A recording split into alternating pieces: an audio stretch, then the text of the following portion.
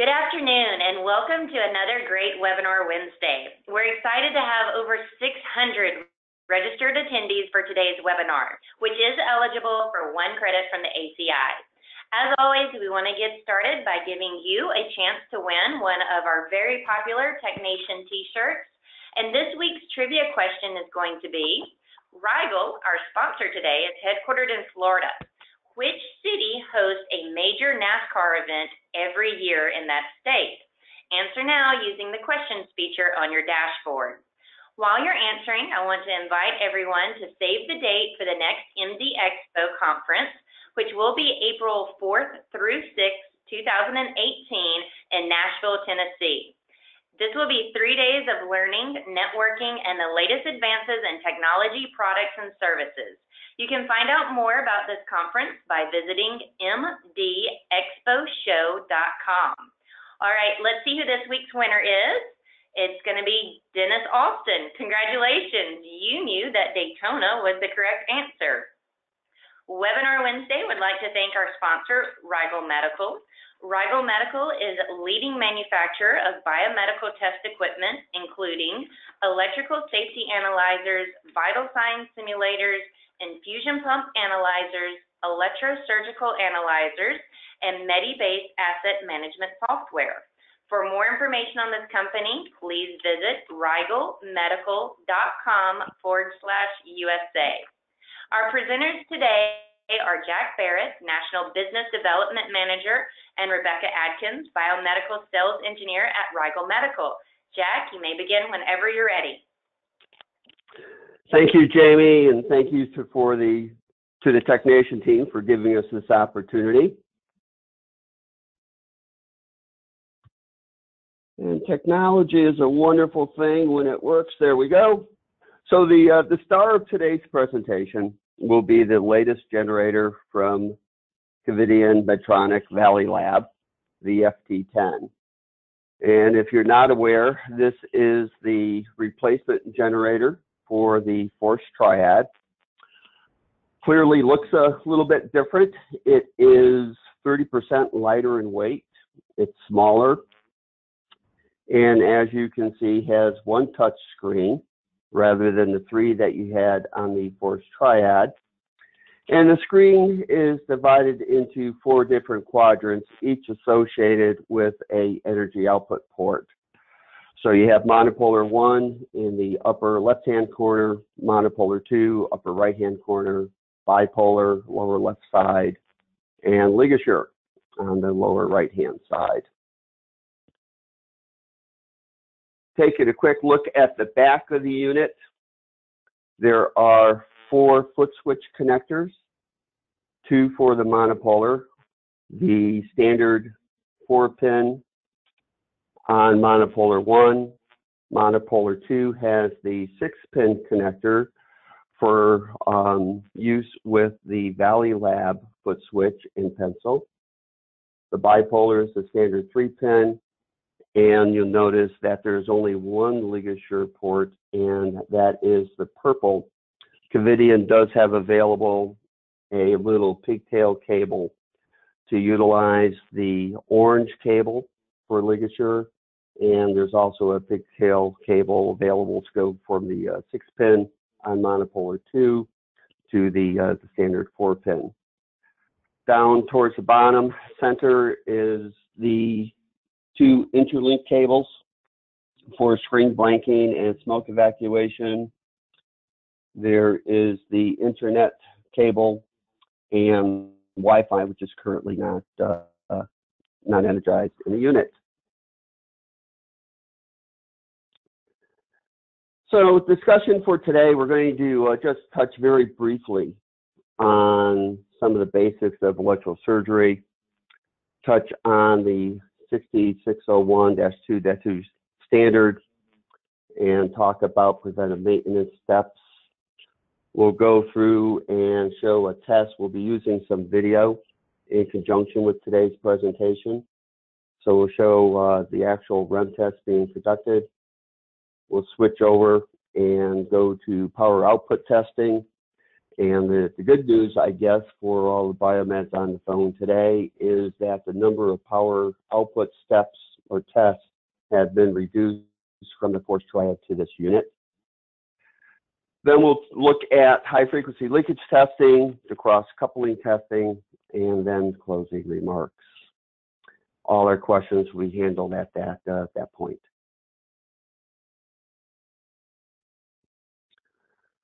So first, of course, electrosurgery is an RF generator within the ESU unit itself, and it cuts or coagulates the tissue based on the waveform. The FT10 is operating at a switching, switching frequency of 434 kilohertz. So you'll see that in the frequency spectrum up here in the right-hand side of the graph.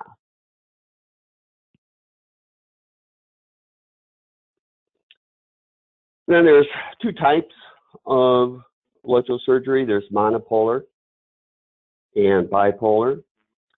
Monopolar uses the patient return pad and it's much larger in size, physical dimension than the tip of the pencil that actually does the, uh, the cutting or coagulating of the tissue. And the reason for that is certainly to disperse the current energy over a wider surface so you don't develop patient burns. The second is bipolar, and this uh, refers to LigaSure as well. And the best way to picture that, of course, is just to think of a pair of tweezers where the active electrode and the dissipative electrode are very close together and the energy passes between the two.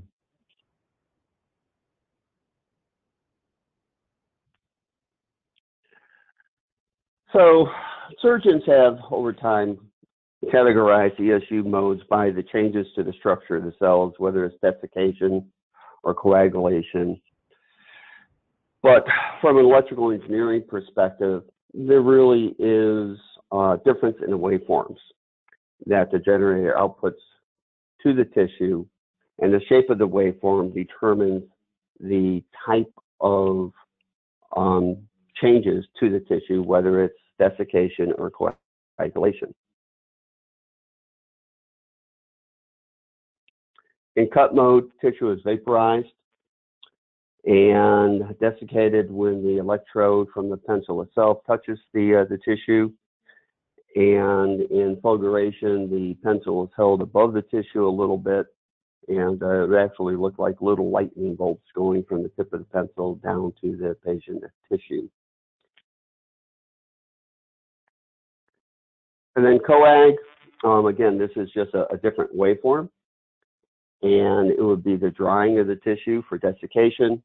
And again, there's a fulguration option on this as well. So we spoke that there's different waveforms that causes the different uh, cellular structure to the tissues. A sinusoidal curve is with constant amplitude is the cutting waveform. And again, the frequency of the pulse width modulation here is 434 kilohertz.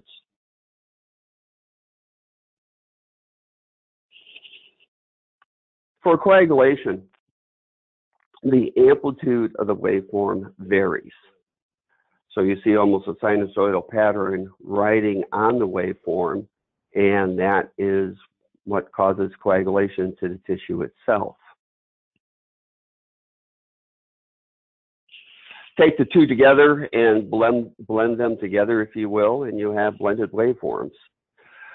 So here's just a, a quick sample of different blends. When the real difference here is the duty cycle of the waveform is changing. So you can have blend one up to a pure coag waveform, Again, you see the difference in amplitude versus the pure cut waveform.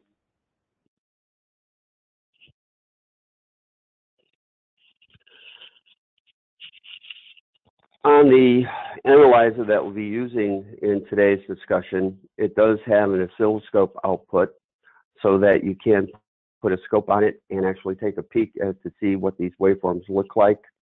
And here's an exam uh, example of fulguration. And here is an example of coag spray.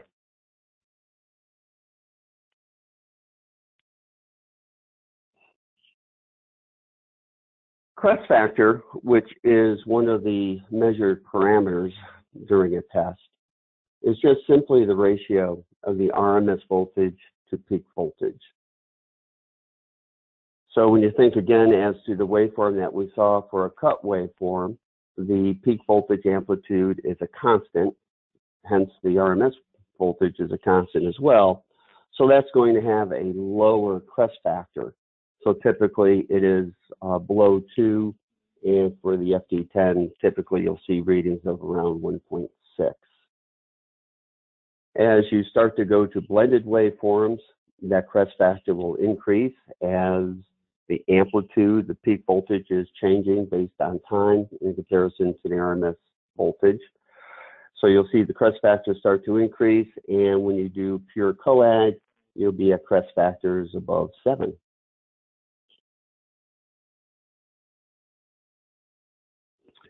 There's effect settings for many generators today. In the FT10, it really is the Valleylab mode. And again, that is on monopolar 2. And the duty cycle of the waveform is controlled for a very specialized um, waveform that the surgeon can select to, uh, to work on the patient.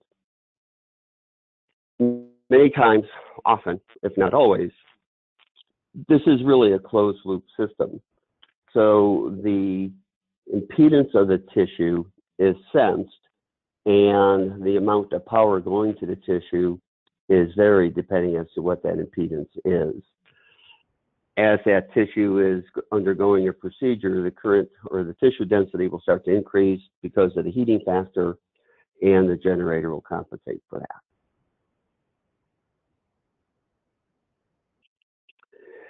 And in clinical use, um, duty cycles are typically limited to 25% or less due to power uh, considerations within the generator itself, and probably even more importantly, what the uh, the heating of the dissipative pad or the dissipative electrode would be doing, and that has the uh, impact of potentially causing patient burns.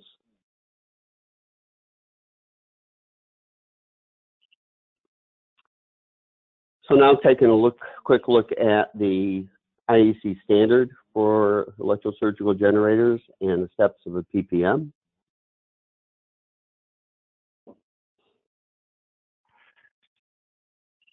So the dash two dash two specification is really the underlying specification for the development and manufacture of a surgical generator. It defines the minimum standards, such as when we start talking as to high frequency leakage testing, it'll give a maximum leakage current provided. But certainly a manufacturer can specify and rate their products for something less than that. So the specification truly does give the upper limit that cannot be exceeded.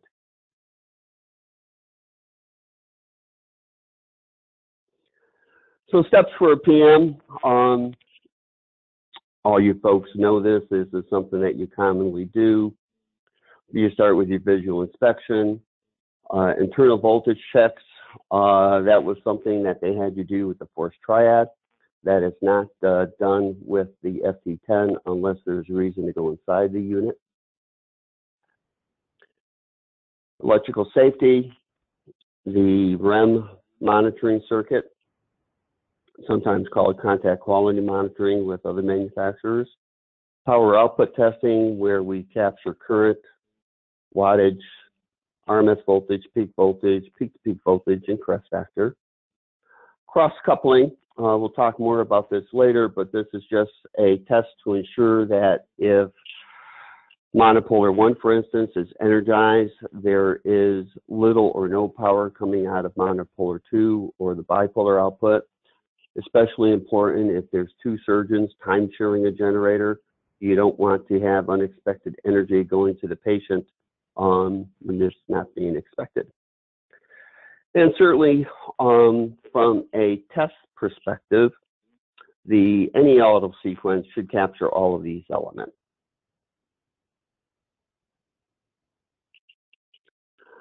So let's talk about doing REM testing.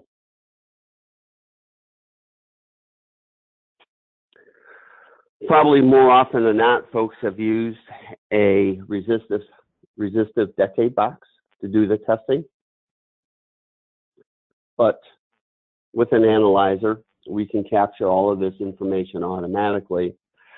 Now, the process for testing REM is much different than the Force Triad or the FXs, any of the, uh, the Valleylab products that you really have been used to. So no longer do you capture uh, the upper alarm of 140 ohms, look for a low alarm at 5 or 4 ohms, and also look at the 40% increase in resistance to trigger the alarm as well. With the uh, FT10 generator, this is done in RF mode, and we get there by going through the uh, into the system into service mode, which uh, on the Triad used to be called debug. And we basically check four resistance settings. We start at 100 ohms, we go down to 50 ohms, and then we test short circuit, and we open up the circuit for an open circuit measurement. And you see uh, on the slide here what all the associated pass-fail numbers are. And we're going to slide over now and take a look at our first video.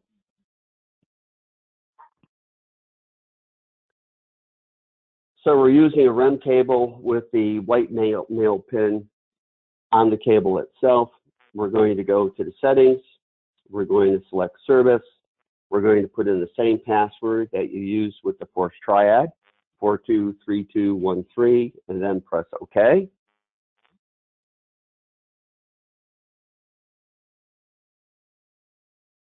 we're going to go to RF output test. Select cut. And what we have to do now is go up to our analyzer.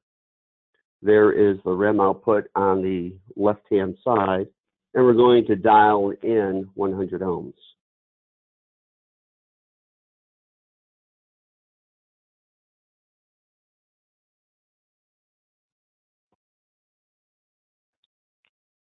We'll come down now and we'll put the other banana jack into the circuit. The FT10 goes out and interrogates actively the REM circuit at a, frequency of about 70 hertz. So that we do our adjustments of resistance prior to making that connection. Deactivate hold values. Notice there's two ways to deactivate. One hold values, one without holding values. For testing REM, it is best to do deactivate with hold values. And you see we measured 103.6 ohms. We'll now go up, decrease the resistance to 50 ohms.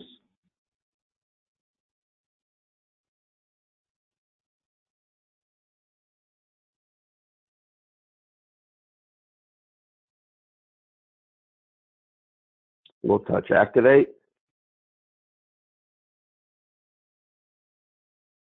Deactivate. And we measure just uh, south of 54 ohms.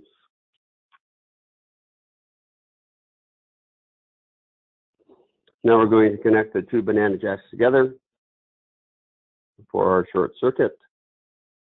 We're still going to see some cable resistance.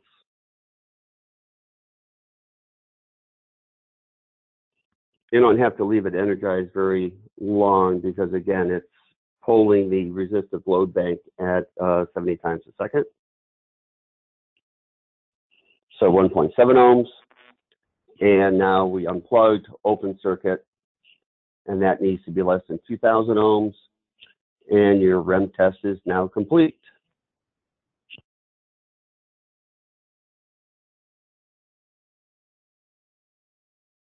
So back to our PowerPoint.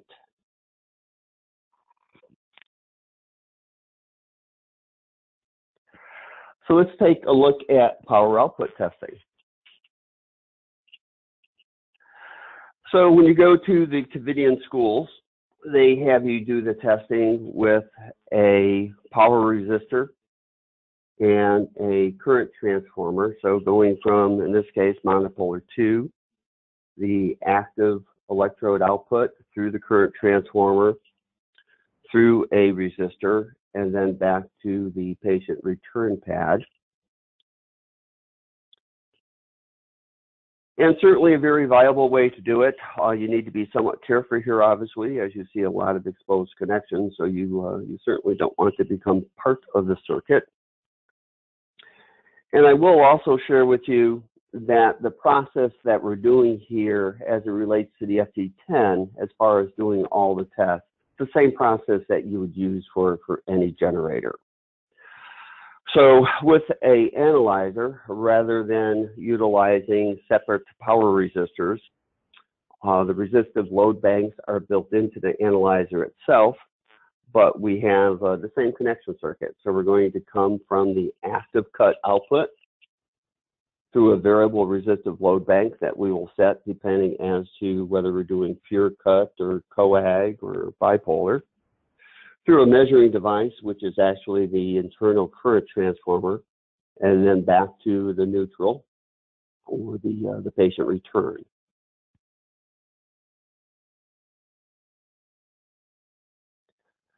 So when you look at the service manual for the FT10, it'll have you do a lot of these tests in the RF mode. It is a uh, kind of a couple step process doing so. You have to start your analyzer, then start the generator. For a lot of the tests, using a foot switch adapter has been allowed by the engineering team at Covidien, And we'll be doing demonstrations using foot switch adapters, and we'll also be showing you how to do the test in RF mode. Uh, you'll find that use of the foot switch adapter saves you a little bit additional time. And again, the process that we're using here will be the same for, uh, for all your generators, your FXs, your force triads, etc.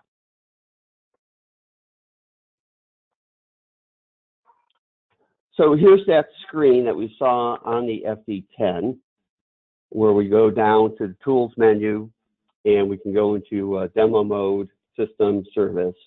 So for use of the foot switch adapters, you would go to demo mode as you did with your force triads. Uh, with your force triad, the only thing that you had to go into debug mode, as they call it, was for LigaSure. And if you do all your power testing in RF mode, you go to service mode for, for it all. I mentioned earlier that the number of power tests have been reduced and here is a, a great example of that. Used to be that you did all your various settings on monopolar ones, pure cut, blend, coags, etc. And then you went to monopolar two and duplicated all of those tests. Over time, you would have uh, realized that the difference in the current output between monopolar one and monopolar two was maybe at best a couple of milliamps. So with the FT10 now, the only test you do on monopolar one, and monopolar one also has the uh, USB port associated to it, is a coag spray test. So let's take a look at actually doing that test.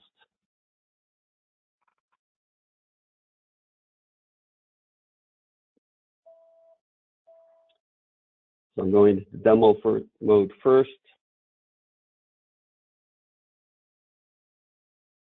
Using the run cable with the center pin removed.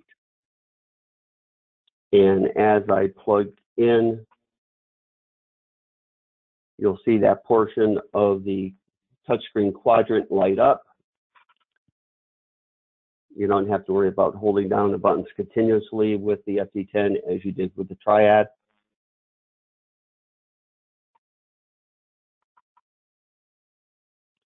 So back up to our analyzer, we're going to select power test. We're going to select continuous. We're going to set for monopolar. We're going to adjust our resistance to the specified 500 ohms.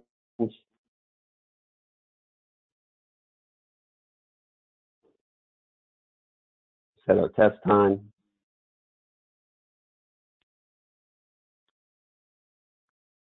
select coag, on time, off time.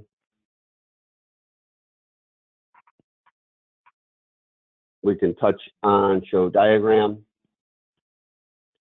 And here is our test circuit. So we're going from the active electrode coag output to the top end of our load bank through a little jumper, through our current transformer, and then back to the patient return. We'll hit the green start button twice, and we'll initiate the test by using the foot switch connectors. So since it's coag, we will see the blue LED come on.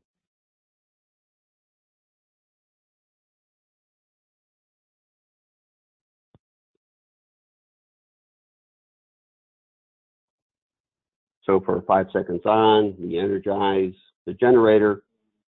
It was set for 120 watts. And there are the results of our test. So for the purpose of this presentation, we're doing everything in a manual mode. There is a, a, test sequence where all this happens as automatically as possible. All the data is captured in memory.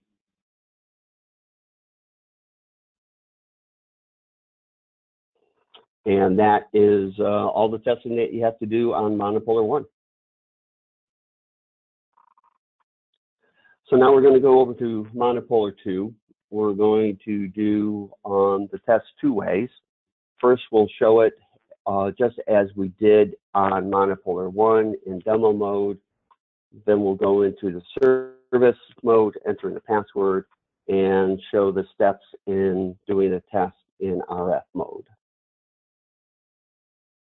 I believe I'm doing a 10 watt uh, test here. So we're looking for 143 to 223 milliamps.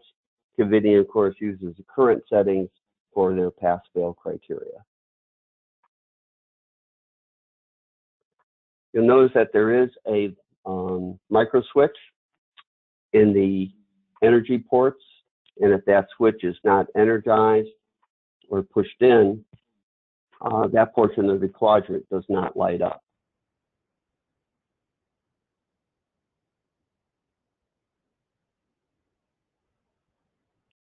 So we're going to go back to our test screen. Since we're doing a pure cut, we'll adjust our resistance to 300 ohms.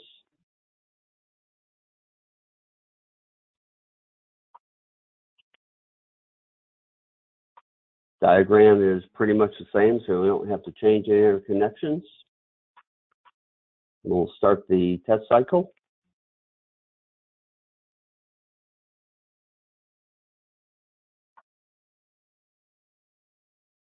And we measured 181 milliamps. And that is true current measurement. It's not calculated from voltage across the resistor. So back, and now we'll do the test in RF mode.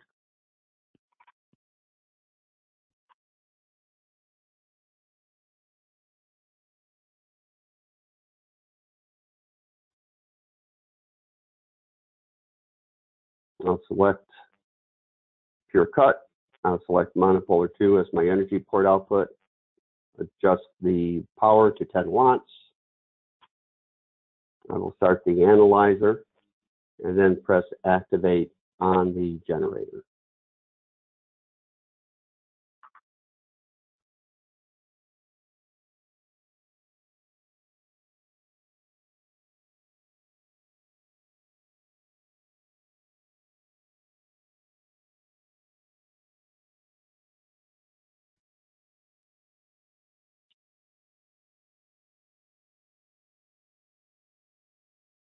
So I was a little late on hitting the um, the output there to deactivate, but you see that we measured the same 181 milliamp.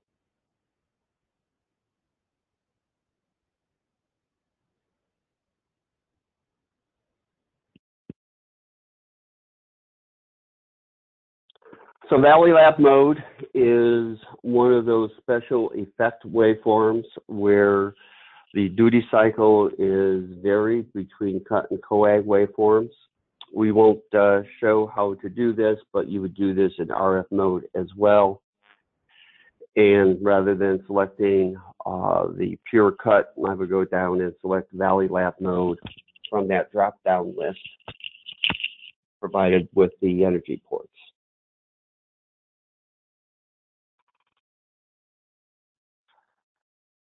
So that is a couple of examples of monopolar testing. We'll switch over now and take a look at doing bipolar. So our test circuit is going to be a little bit different since we're not utilizing the patient return pad as a neutral dissipative pad. We're going to come from our active time of the generator through our variable resistor, which we will preset through the current transformer, and then back to the dissipative time.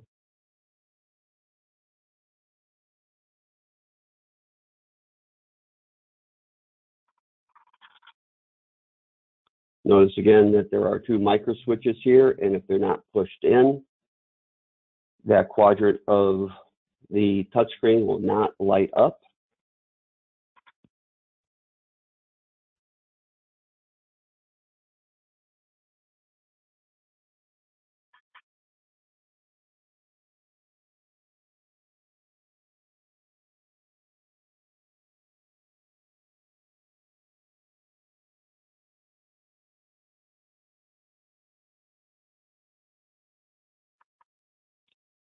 I'm setting for a load value of 100 ohms.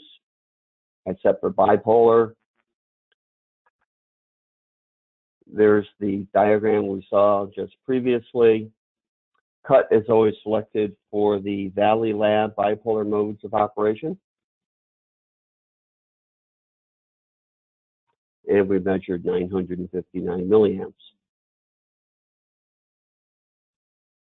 There is a tolerance on the wattage as well, which is plus or minus 15%.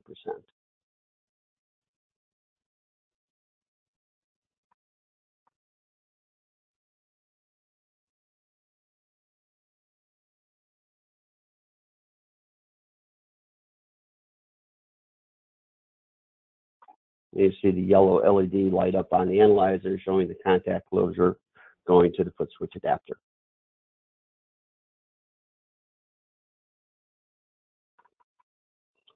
And our current was well within the specification, the bandwidth given for acceptance.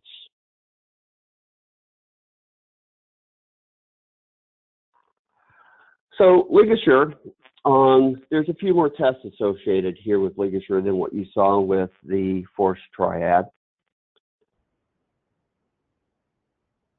And a couple of different uh, resistive load values as well. With the triad, you did this in the debug mode. Uh, we will do this in the service mode as well with the, uh, the FT10 because this is a test that in an actual procedure that tissue is going to have a varying impedance depending on the current density as uh, tissue density as current passes through it and as that vessel is squeezed together.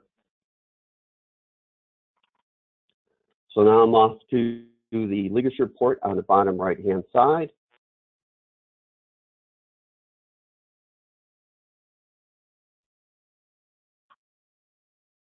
Again, entering the password under the service mode,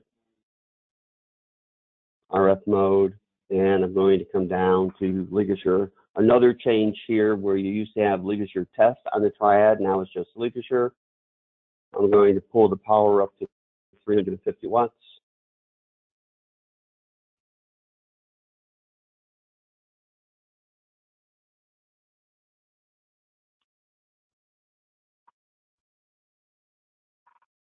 Up to our operating screen.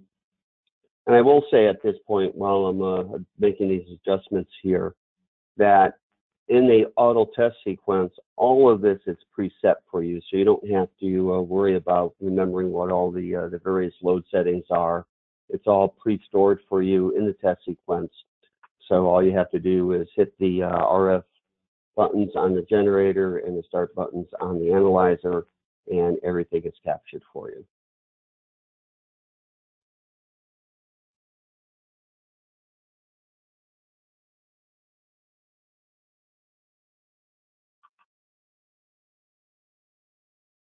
The start button twice. I'm hitting the activate, RF activate on the generator. You see the yellow cut button come on. I'm watching that to judge when to hit the deactivate.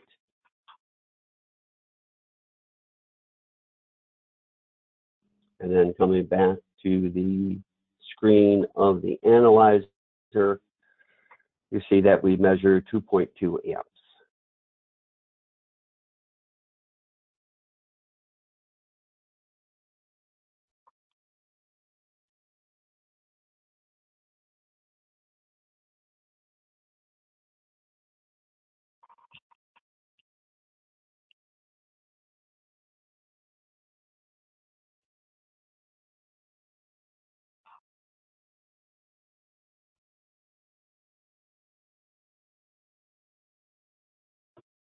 Notice that the screen on the left-hand side has primary and secondary. There's two um, portions within the FT10 where they're capturing data. Uh, the secondary is the uh, measurement point closest to the output of the energy port itself.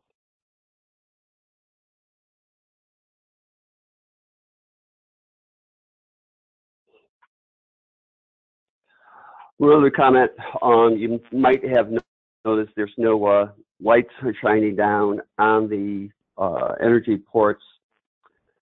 That the scanner is gone. Now they're using RFID modules uh, within the tools themselves to activate the generator and to keep track of how often a tool is actually utilized.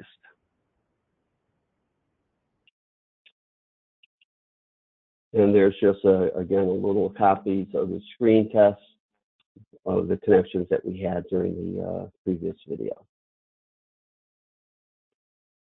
Now we'll take a look at high frequency leakage testing and also uh, include cross coupling.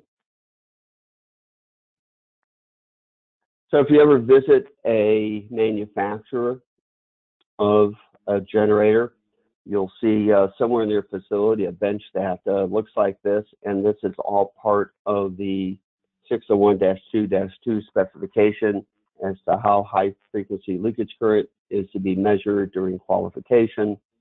So it's a wooden bench with everything uh, pretty well laid out. Fortunately for uh, use by the biomeds and hospitals, our only uh, requirement is to keep our leads as short as possible because if you do form coils and such in the leads, that adds inductance to the circuit. If it's laying, uh, lying, if the leads are lying on uh, metallic structures, you can add capacitance, and both of those elements would have impact on the actual impedance seen by the generator. So for high frequency leakage testing, um, everything is tested in a single fault condition. So we will have open circuits and really just looking at leakage current, assuming if something went wrong in the procedure, what the patient could be exposed to. And we will look at both the active and the dissipative electrodes. And the maximum specification is 150 milliamps to the dash 2 dash 2 um, or four and a half watts through a 200 ohm load. That 200 ohm load is part of the specification as well. And as we said earlier, a manufacturer does have a little bit of license over this. They can specify something less. Covidien does that with uh, bipolar, where it's specified at 69 milliamps, but a manufacturer could never exceed 150 milliamps.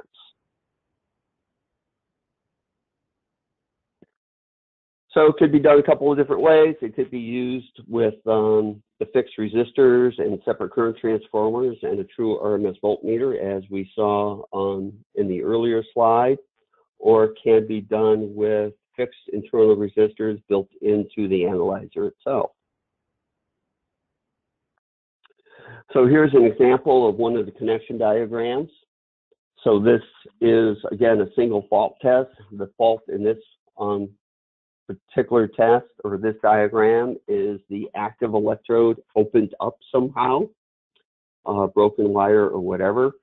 So we're looking at leakage current coming out of the patient return through the from the neutral. We'll take a look at that through the current transformer through a fixed 200 ohm resistor to ground.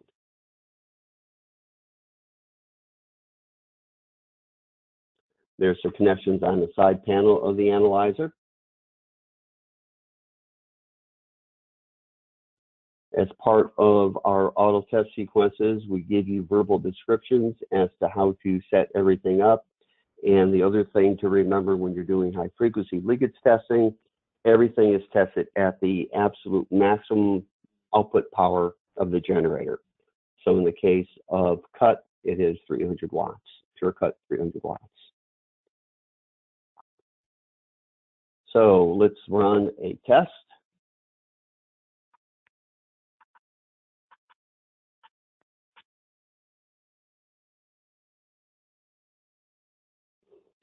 So our single fault condition here is the neutral wire is open. And we measured a leakage current of 41 milliamps.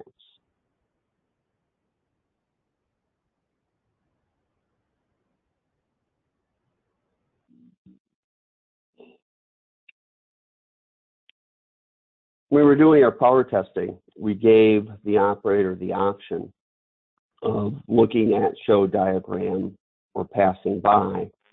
With high frequency leakage testing, we do show the diagram each and every time because the connections change each and every time. So single fault condition here is open cut, looking at the current through the neutral. And not uncommon to see that the leakage current in the return is higher than what you would see in the active.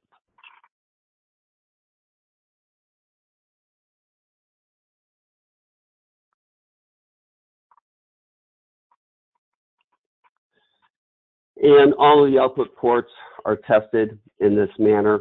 Uh, so monopolar one, monopolar two, your bipolar, and your LigaSure are all tested in single fault conditions.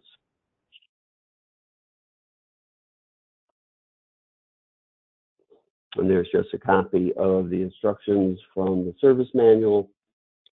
Um, service manual that I used here is uh, for software 2.0x.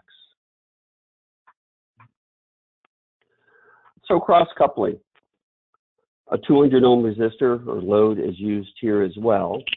And as we mentioned earlier, what we're really doing here is just energizing one of the energy channels and looking at the other three energy channels to see if there's any excessive current coming out of that. So again, very, um, very concerning if two surgeons are time sharing a generator. They both have instruments to the patient. And if one gentleman fires his portion, whether it's monopolar uh, one for cut, you don't want to see any energy being dissipated out of the other ports. So here's just a quick little video on accomplishing that. I'm looking at the currents coming out of the bipolar. I have my resistance set for 200.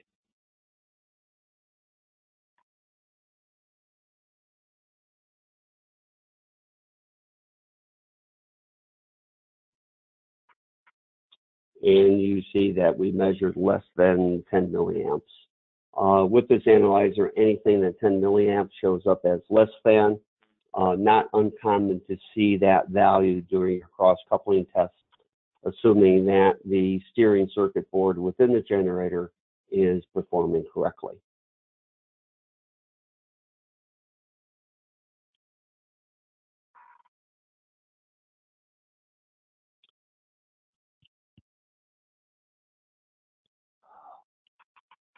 So one thing, as you see in the service manual, everything is captured on paper and pencil. When you're running the auto test sequence, everything is captured electronically. If you're familiar with what the output files of the Unitherm looked like previously, we have made some enhancements to it where we've added in the user comments. We've added in more detail as to what the uh, the test was, whether it was monopolar, bipolar, etc. And here's just a, a quick portion of what a output file would look like coming out of the analyzer itself.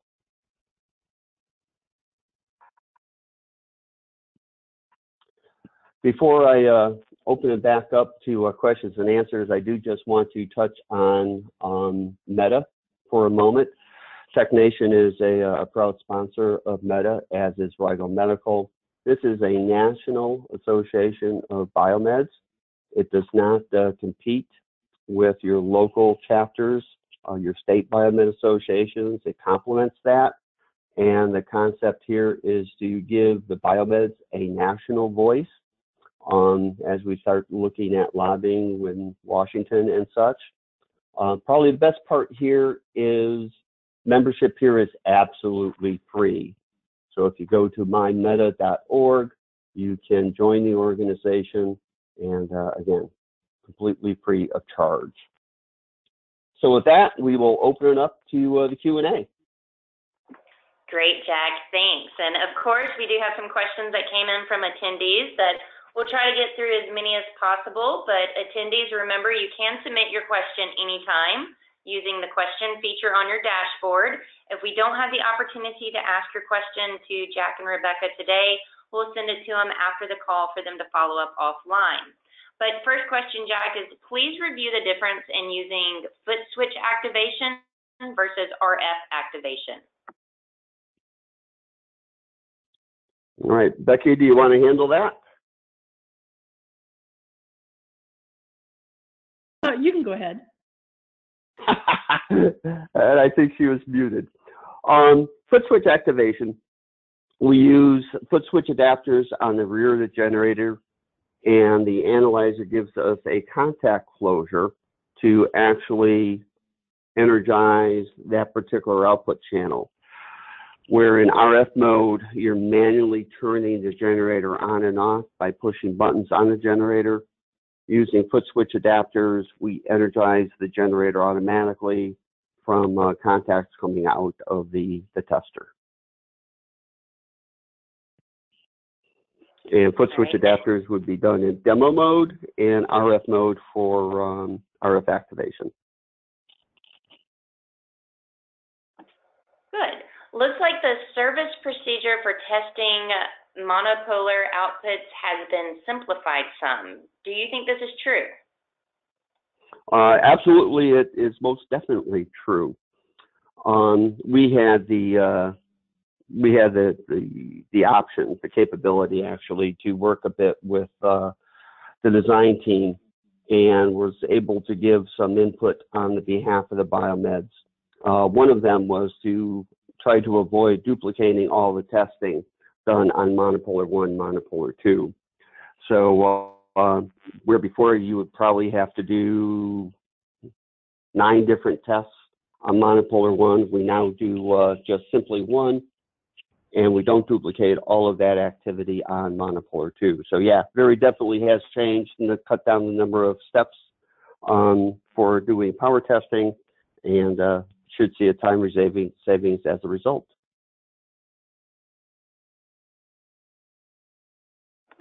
Great. Next question.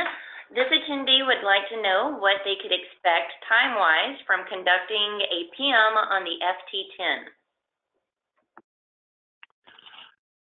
Uh, a lot depends as to how the testing is, is going to be accomplished, whether it's uh, manual mode or in uh, by use of a automated test sequence in an analyzer.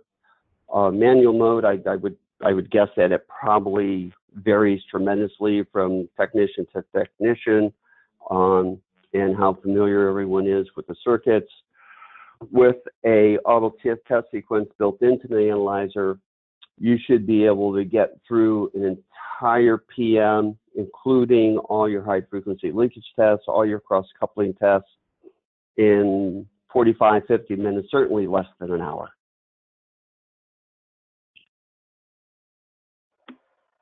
I have a, an attendee here that asked a really great question. Can you can the test results be downloaded onto a flash drive?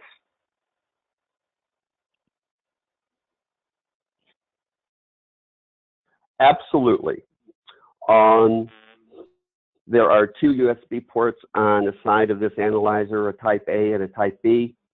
um, memory sticks, flash drives, whatever with a type type A can be plugged into the uh, corresponding USB jack on the side of the analyzer.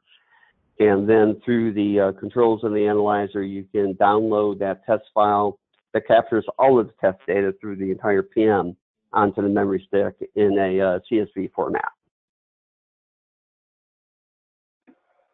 Another attendee then- would like to know if you could explain REM sink current and electrical safety testing. Um, Well, electrical safety testing is low frequency testing done on most of the medical products within um, a facility. So here, there's a couple of different test protocols. There's uh, most common for hospitals is NFPA 99. So with an electrical safety test under NFPA 99 guidelines, you have um, you measure your uh, ground continuity resistance, you measure ground leakage resist or current, and you measure chassis or touch leakage current. Um, that is all done with the power switch onto the device, power switch off on the device, and then um, there's one single fault condition uh, under the guise or guide, guidance of NFPA 99, and that is to open the ground pin. Um, and that will uh, that would satisfy uh, electrical safety test for a generator. Other things you're going to have um, more numerous applied parts or such, so there's some additional testing. But for a ESU generator, that would be the uh, majority of the electrical safety. The other part of that question on sink current on the REM circuit, I think they're probably referring to how much current is sourced from the generator uh, through that uh, resistance value, whether it's 100 ohms, 50 ohms. And um, I do not remember that exact number. It is in chapter four of the service manual. It, it's somewhere around a couple of milliamps. Um, but I certainly can uh, can dig that number out if I'm answering the, the question correctly. Great. A few more came in. Let's see if we can get through two to three more. This one's a little long, Jack, so bear with me. During one of my PMs, I was able to find a chart that had all of the data for REM testing.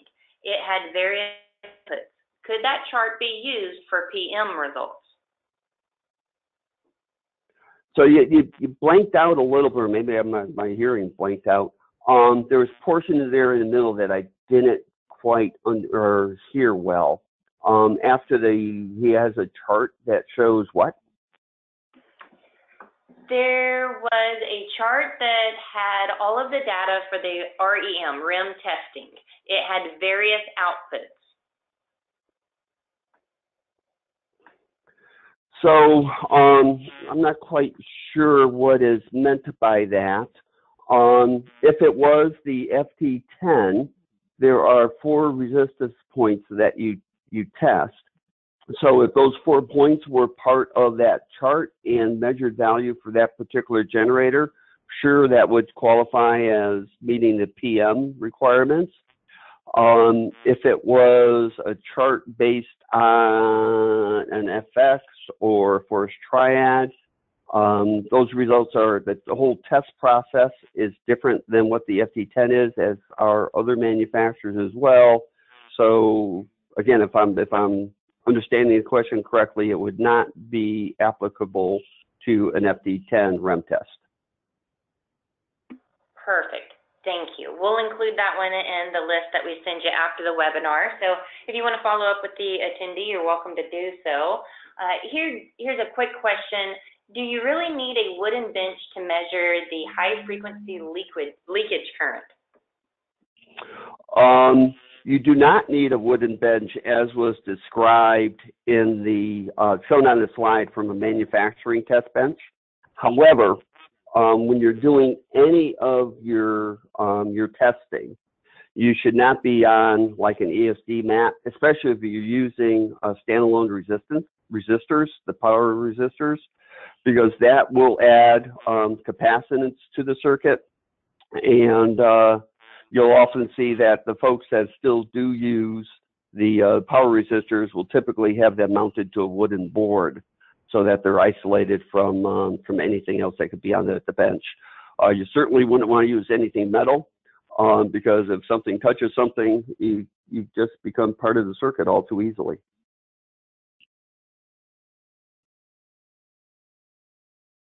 I think this might be a great question for us to wrap up on. How can we get the latest testing updates for our Rigel ESU tester? For the test sequences themselves, you can um, just send me a quick, email. My email address is on the, uh, the slide that's being shown now. If you're looking for firmware upgrades, you can go to the Rigel Medical website uh, under the product, select Unitherm, and then on the right-hand side of that screen, there will be the opportunity to uh, to gain the latest firmware uh, that is provided, uh, of course, free of charge. Save that onto a memory stick, plug that memory stick into your Unitherm, do your firmware upgrade, and uh, boom, you're done. Takes a couple of seconds.